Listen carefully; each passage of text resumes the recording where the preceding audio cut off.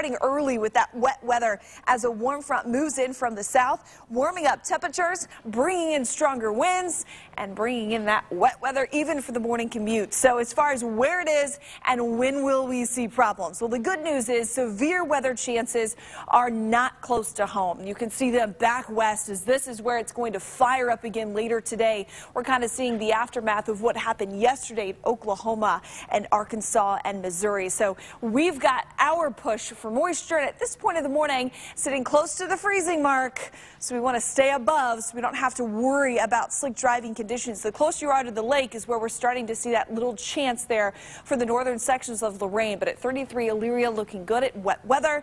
I want to focus in a little closer here, though, and talk morning temperatures from Vermilion to Norwalk and New London. Still talking lighter rain, but Vermilion, it has picked up for you. So you may run into a little bit slower traffic there if you're headed out, even though there's only a few of you out on the roads. We're talking wet weather again in place over Westfield Center, Wadsworth, Barberton, and Orrville. This is all headed east.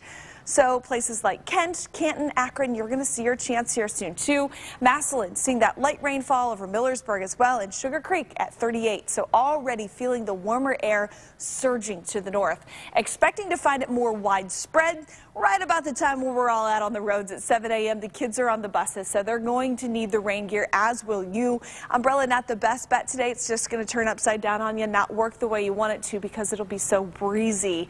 But there's your break for the noon hour. If you've got a lunch looking at a, a quick little shot again in the afternoon, but much of the afternoon will be more so dry while we pick up those rain chances again for your Thursday morning. Again, another Thursday morning commute, possibly wet, and look colder air trying to move in close to the lake. I think snow chance is still likely as we wake up on Friday morning. So the chance of keeping it warm is not there.